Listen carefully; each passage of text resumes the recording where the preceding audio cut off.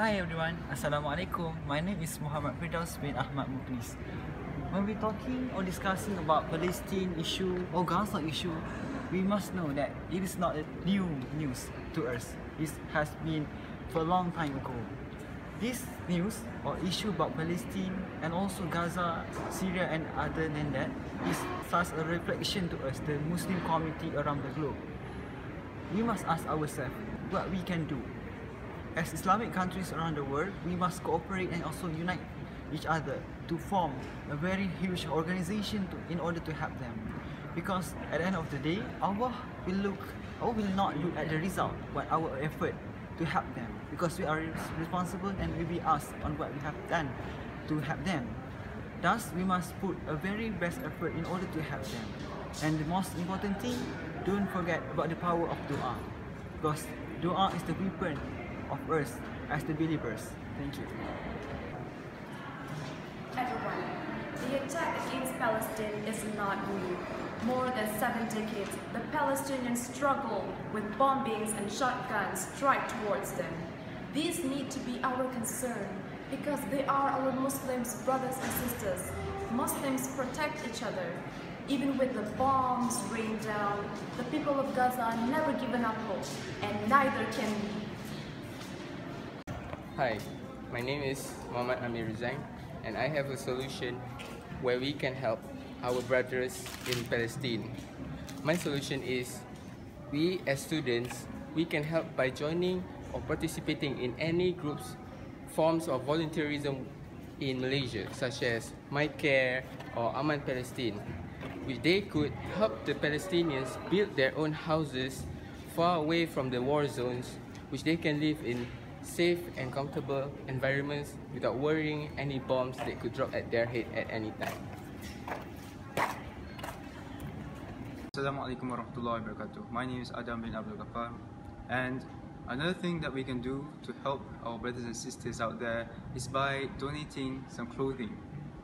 Due to the wars and conflicts that are happening out there, houses and buildings are bombarded and burnt, resulting to massive destruction. This will cause the essential needs of a person to be gone just like that. And this includes clothing. So this is why we must help by donating some clothing for the sake of their comfort and warmth. To help our brothers and sisters out there to overcome the cold of the nights they're sleeping in. Assalamu alaikum wa. So, brother and sister, so we are Muslims. So our responsibility as Muslims is that we have to prioritize other Muslims. So we can see the people in Palestine, our brothers and sisters in Palestine, they are suffering. They don't actually have food to eat. I watch YouTube on how some of the Palestinian people, even a child, they only eat grass. Can we imagine how suffering they are? So we, as a Muslim, we are living in a country where the economy is very stable. So we can actually hand give a hand by donate some food to the Palestinian. So we can actually donate um, any type of food. It doesn't matter it doesn't matter what kind of food it is because Palestine they don't actually prioritize any food. They, they are not like us. Like we if we want something we want that food. But in Palestine even if we just give a tiny little bread they would actually accept it.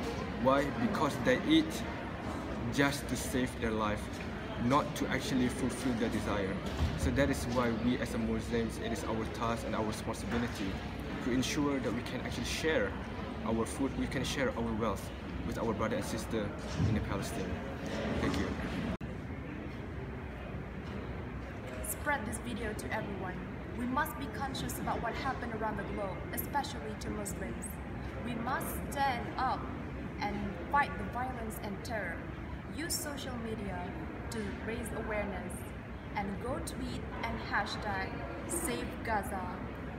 Be an Insta famous who is famous on Instagram because you stand for Islam.